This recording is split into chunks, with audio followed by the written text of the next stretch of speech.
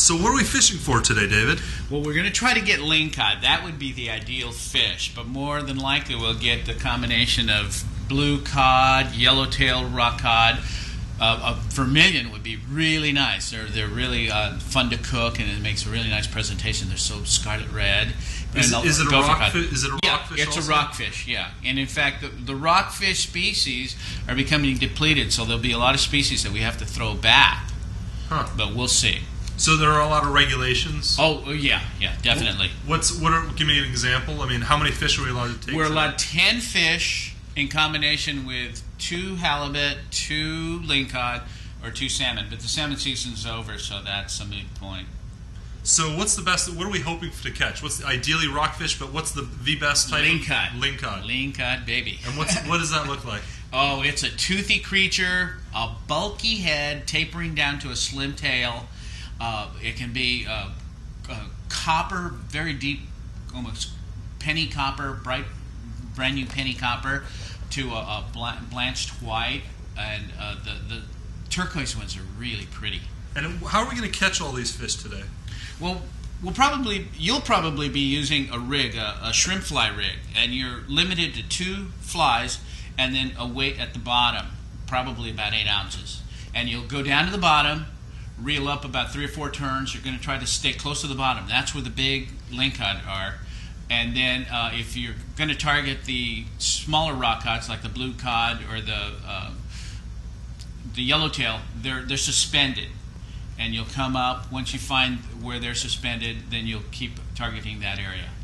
So David and I are out here fishing, and it seems to be doing okay. Is that what we're doing? Um, so what, what's happening right now, David?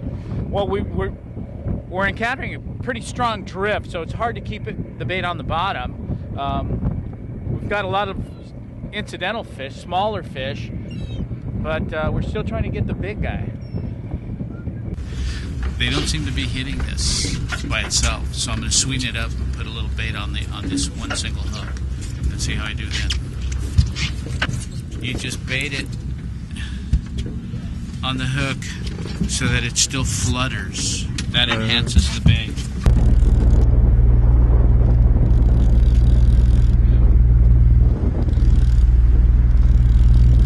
Yellowtail. Nice olive. Yeah, that's a nice fish.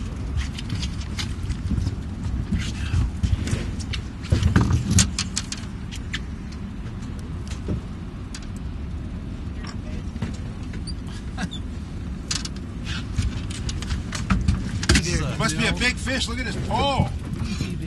God, he has a, a whale or something.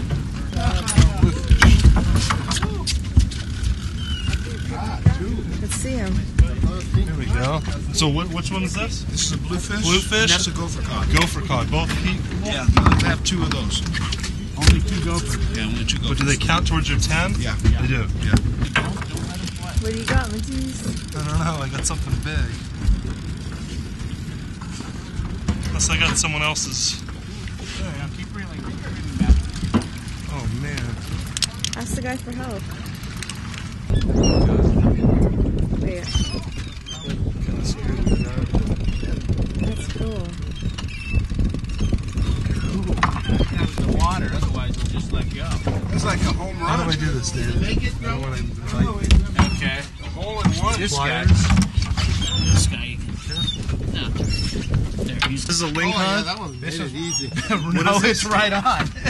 it's right Get him. on. So David, what is this? It's a lingcod. And it has to and be it has to be certain size? 24 inches. Now you, you'll notice the color, that nice turquoise color. How about the teeth? When you when you cook it up, it turns white. You know, we get some days we get an exceptional amount of bottom fish, which which is kind of a bonus. You know, I've been doing it for 20 years, so that's what makes it look. So you got to have a sharp knife too. Pretty much it. Right, let me flip it over. Like in Monterey, if you eat fish in Monterey, they sell this as a rock cod. That's a snapper. So what did you think about uh, this? Was this a good catch for everyone today? Yeah, for everyone, yeah, definitely. We get limits every day. Oh really? Yeah, we limit out every day. What's the, when's the last time you saw someone catch a really big fish out, out, out of a tour? Uh, tour it was a 23 pound lingcod three days ago. Just like a gardener goes and picks different vegetables, um, the ocean has lots of different types of, of rockfish. Good analogy. Yeah. We have a good assortment here. Tell us Yeah. about these, David. Now the ceviche is prepared with this gopher cod. Note how small it is compared to the larger species. A gopher cod typically doesn't get much bigger than this. Now this is a sweet. It's a beautiful crustacean. color, nice orange Yeah. color, and the flavor you said that that's going to be A sweeter. sweet, a sweet fish because of its diet. So the gopher cod it only eats. mainly crustaceans. It- Crustaceans, It, it, okay. it lives among the rocks and it eats baby crabs. Now here's blue cod. Now while we were fishing for the squid, trying to get the squid, we ran into a lot of little blue cod, and this is kind of a medium-sized fish. This is a great fish to fry, uh, broiling fish, and again you can see the similarities in the flesh, but this has more blood to it. it it's it's a freer swimming fish. It has a wider range. Now we get into the what we call the, the red snapper. It's not a true snapper, but this is a vermilion cod. And uh, he's taken the scales off, so it's kind of blanched out a bit. But when it's covered in scales, it's a crimson red. It's a gorgeous fish. We're going to be barbecuing this.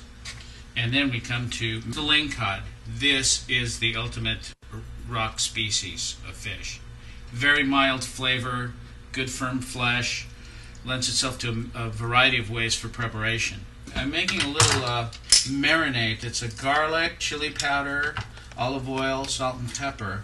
And you're going to roast this whole. We're going to roast this whole. If I've already scored it, and uh, I'll work the marinade into the cavity and into those uh, scored sections, and then let that sit for at least 10, 15 minutes. So, so the, the fish has been cut open, um, and all the it's been viscerated. All Exactly. the entrails have been removed. The gills have been removed. Yes. And it's been descaled. Right. And so it's basically ready to ready to go. Except you need some kind of you- you're gonna add a little extra flavor to it. This fish, the vermilion, salt and pepper. Simply salt and pepper, a little bit of olive oil. Fantastic. And it's just so fresh. You want to highlight that freshness. Exactly. And the rest of the fish, you just rub the marinade into the flesh. Now, it, when we do cook it, I've got some herbs in my garden, and you put that right on right before taking off the grill. So the herbs stay nice and fresh. Exactly. Just a hint of flavor, color, nice presentation. What is ceviche for our folks at home? Now it's lime or lemon cured fish. You So it's not cooked. It's just cured. the the acid in, in the lemon will, in essence, cook it. Now you, you can see the color of the the fillet. When you put it into the the, the lime juice, it, it'll change colors, and that's the cooking process. This is the uh, the vegetable portion of that ceviche dish. So these are nice little pear, yellow, yellow pear, golden Exactly. pear tomatoes. Yeah. My herbs back there, I dried uh, a little bit of sage, rosemary, and oregano. Now add a, I'll add just a little bit of dry items. Fresh jalapenos, excellent. Now what is this? Is a jalapeno? Jalapeno, a ripe one. It's sweeter. Drain the uh, lime juice. Now I'm going to rinse it because you want to taste the fish. You don't want to see. You don't want to have fish floating in a in lime. You can see the fish changed colors. It's, Yeah, it's you'll see how it's what firm. it's cooked. You pick it up and it's it's got some texture. Taste it. It doesn't taste raw. Now you just incorporate that. Ideally, at this point, you would want to let this sit so the fish starts taking on the flavors of the tomatoes, garlic, and onions. Now your cilantro is going in at the very end. At the very end, you want this really fresh. It's going to impart its little cilantro magic right at the end. Now, if, if I was gonna, if I made a big batch of this, I would I would add the cilantro right before I eat, like exactly. just the, the portion that you're exactly. gonna eat. Otherwise, it becomes very limp and uh, it tends to lose its its potency. At the top, sprinkle some around.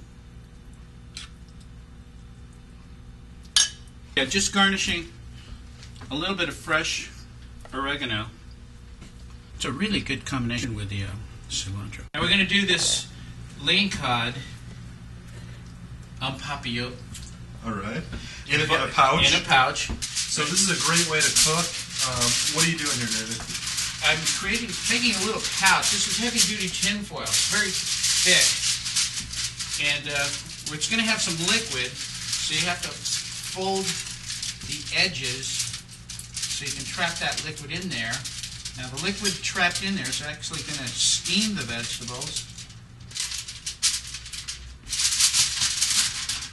And the vegetables in there, that's just. Um, broccoli, cauliflower, and carrots. And so you're just putting in a little. Yeah, just a dash of sherry.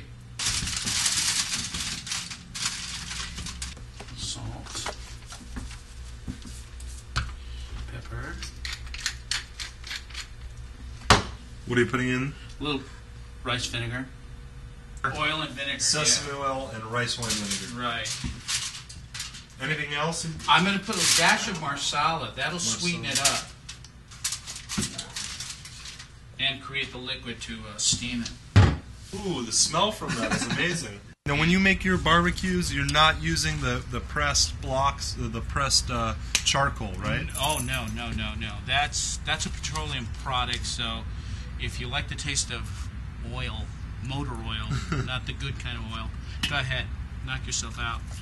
But this is this is gonna real a real fire essentially. We're going with the oak, and that imparts a little bit of a, an oak flavor to the fish. I'm originally from the Southwest, mesquite. Oh, there's nothing like a mesquite hmm. flavor to it. It's it's it lends itself More toward to meat. Meat, yeah, Yeah. red meat. But f- for mild fish, hickory's good. So you're gonna just touch it, and you can see that it's it's nice and firm. Yeah, firm. That's if it was spongy, yeah, it, it's undercooked. Wow, that's beautiful. Ah. that is gorgeous. And that juice with Oh, some little yeah. French Oh, yeah. bread. Oh. Yeah, but if you really want to do, uh, really do something nicely, you take this juice, put it in a hot pan, just a dollop of butter. Monte au beurre. There you go. Wow, David, I had a great time today. We went fishing. We got a tour of your, your glass studio. You made some some uh, beautiful uh, glass. Uh, I think it was a paperweight Yeah. for Mhm. us. Yeah. And um, and now we're going to sit down and eat this wonderful food. I mean, you are just a, a true gourmet. I just enjoy what I do. I really do. And if it's fresh, if it's something that I can grow and put together myself, it just makes it that much A lot of the stuff is from your garden. I mean, Exactly. It's, Exactly. and the fish, it was swimming in, in the ocean less than three hours ago. We were lucky it was as calm as it was today because there was a storm front moving in, and as you know, on the way back, it got a little It did get a little rough on the way so back. we lucked out. It was a great day, and you know how to fish. Well, I, I learned from the best. So. Okay. Well, let's sit down and eat. This Excellent. Is, this is wonderful.